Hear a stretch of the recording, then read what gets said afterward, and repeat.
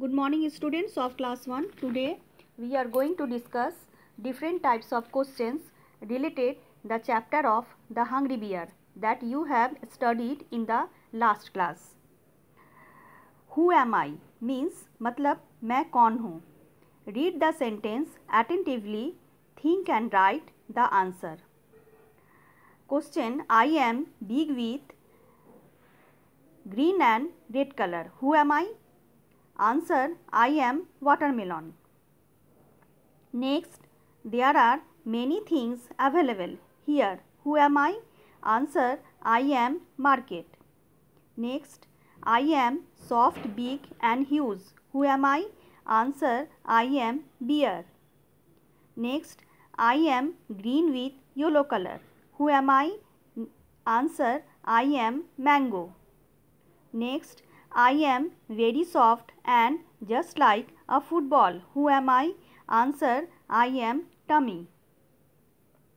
बच्चों, अगर इस तरह का क्वेश्चन आपके एग्ज़ाम में आ जाए तो सबसे पहले उस सेंटेंस को आप अच्छी तरह से ध्यान से पढ़ेंगे read the sentence attentively think and write the answer सबसे पहले उस सेंटेंस को आप अच्छी तरह से ध्यान से पढ़ेंगे, सोचेंगे और तब उसका आंसर आप लिखेंगे आइए चलिए मैं आपको हिंदी में एक बार बोलती हूँ।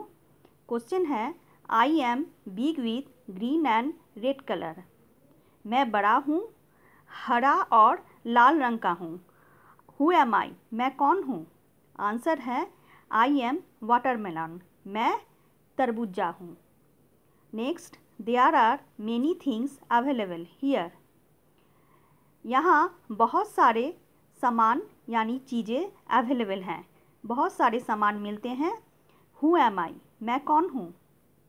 आंसर है आई एम मार्केट मैं बाज़ार हूँ।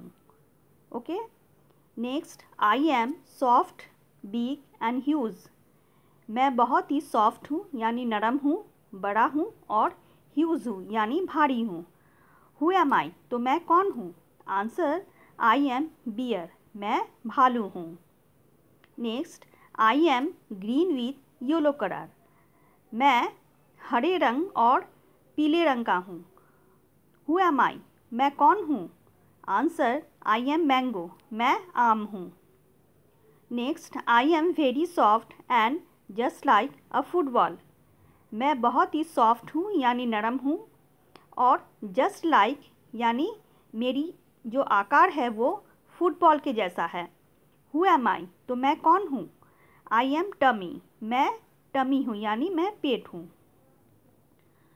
तो बच्चों, अगर आपको इस तरह का क्वेश्चन एग्ज़ाम में आ जाए तो आप सोच करके उसका आंसर लिखेंगे। That's all for today thank you